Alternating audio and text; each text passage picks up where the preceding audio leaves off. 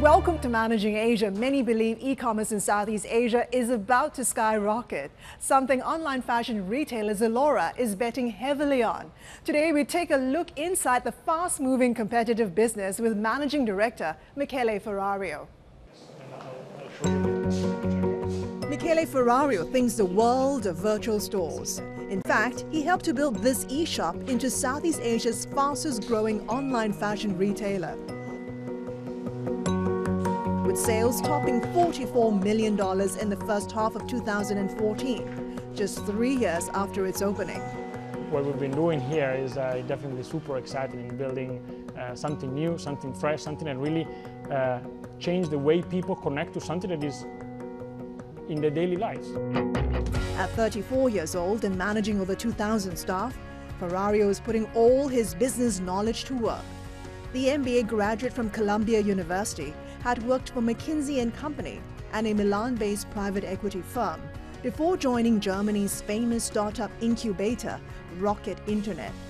When uh, the chance to uh, do something uh, with the internet came along, I thought that this was really you know, the right time to do a big change in career and think about something completely different that was really going to last for long and change the way people do things. He was part of the team at Rocket Internet that set up Zalora in 2012. His task now is to make it work from his base in Singapore. Singapore is definitely well served in terms of uh, online, offline, offline retail. But when you think about you know, Indonesia, the Philippines, Vietnam, Thailand, uh, you, you, you, know, you can uh, quickly picture how tier 2, tier 3, and tier 4 cities, so the smaller towns uh, in, those, in those countries, uh, do, people living there do not have the same access to, to fashion that, uh, that people living in capitals of the world. Together with our investor, we thought that there is a huge opportunity to really change the way, uh, the way people access fashion. But competition is rife in the crowded arena of online shopping battling heavyweights like Amazon and ASOS on one side and Alibaba and Rakuten on the other. Building an e-commerce site in Southeast Asia is not easy. How do you deal with the lack of infrastructure and delivery networks in this part of the world? We dealt with that since day one. So Zalora was a company that was never a garage startup. We always thought that this was going to be a very big company, and we therefore invested a lot in building an infrastructure since day one. Like what? what? What does it mean? It means that we built, uh, so we open warehouses in every country, and we have a warehouse in every country, and that makes it possible for us to give customers an amazing custom, an amazing experience in terms of speed of delivery. We deliver, uh, we actually recently launched same-day delivery in all capital cities of Southeast Asia, and that's because we have local warehouses. We can do that. Uh, on, on the second piece, we, uh, we partner with uh, local delivery partners in every country. And uh, over, over the last uh, three years, we built with them strong partnership. We learned with them. We taught them something. They taught us something. And working together, we managed to really build uh, the capabilities to uh, give our customers the experience that they would receive if they were living in New York or London. So how long did it take for you to build up the delivery services, the warehousing structures? How long did it take you? So the reality is that uh, things at Zalora has moved very fast. After three months from foundation, we were open in you know six markets with warehouses in every market, more than a thousand people everywhere. Uh, so the answer to your question is we were fairly fast in mm. building the basic infrastructure, and then we improved. So you didn't lose any time. We definitely didn't lose any time. Mm. We didn't get bored on, on the job any day uh, during the last three years. We so it's all about scale and speed. It's all about scale, it's all about speed, it's a lot about quality and about caring about the customers. So uh, the speed is important uh, in many factors. One is how fast we scaled up the company. On the other side is how fast we were able to build uh, what is needed to provide to the customers perfect customer experience. And the fact that we have a team of people whose only job is mm. to make sure our customers are happy.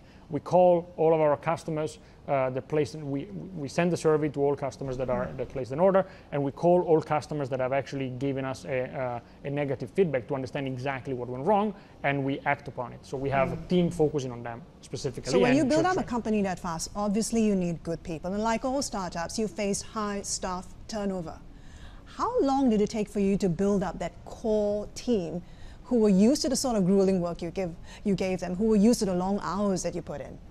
So in the, during the first year, we really built a team, and that, core team has been, has been now uh, with the company since, since then. So it's, mm. uh, it's really, we don't see a lot of uh, a lot of rotation, uh, other than the normal things that you will see in every company.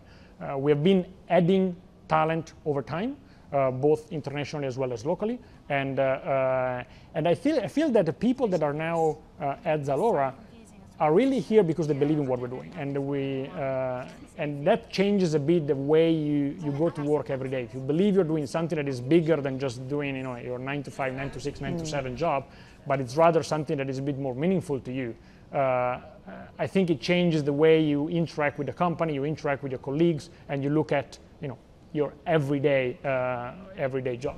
So when you hire people for your team, are they all below 30 years old? So they're not all below 30 years old. We actually we hired we hired a few people that brought to the table a lot of experience, but the reality is that our average age is below 30 years old. So yes, we do have a lot of young people, and a lot of those people have huge responsibilities. So one mm. of the good mm. things about uh, you know coming to Zalora uh, for for young talent is that they get the potential to shine mm. that they would probably not get in any other company, I would say. Today you sell about 400 brands. You have about 30,000 product lines on your website with hundreds being added on every week. How exactly do you do that? when you have so many different markets in Asia, Southeast Asia, with so many different cultures, with so many fashion tastes, how do you do that? We do uh, customize uh, certain pieces of what we do, and uh, while on the other side we have certain part of our assortment that is the same everywhere. So, uh, for instance, in Malaysia and Indonesia, we sell Muslim wear to our, uh, uh, to our Muslim customers. In other countries, we don't. At the same time, Mango dress are sold everywhere. Mm. Sounds like a huge sourcing and logistical exercise. It is, in fact. And uh, as you can imagine, our products are sourced from all over the world. You know, we have, we have brands from Europe, we have brands from the US, we have uh, uh, products that are manufactured, of course, in Southeast Asia, and uh, we bring it all together uh, in our, uh, through our supply chain and then deliver. Just how big is your possible. sourcing team? we have sourcing team in every country. Uh, we have a local, a, a, regional sourcing team in Singapore that takes care of talking with uh, the global brands. Uh, and, we, and then we have local sources team that takes care of talking with the local brands. We, we want to build a platform that is uh, available for Southeast Asian designers and brands to really uh, prosper and find customers there. Mm. You're operating in Southeast Asia, one of the biggest e-commerce markets in the world. What's your outlook for online retail spend here in the region? I think in Southeast Asia, online retail is still very, very tiny compared to the potential of it. Uh, Euromonitor calls $100 billion the uh, market size for fashion in 2018 in, in the markets we cover. I'll let you do your own, uh, your own math in terms of how much of it will, will be online. In, uh, uh, according also to Euromonitor, in mm. more developed markets is now close to 20%. Uh, here in this region is, is a tiny fraction of that. So, uh, and I believe it's going to be more than in, in the development. How much of the online retail spend in Southeast Asia do you want to capture? It's, Give me a percentage. You know, it's hopefully, you know, closer to 50%.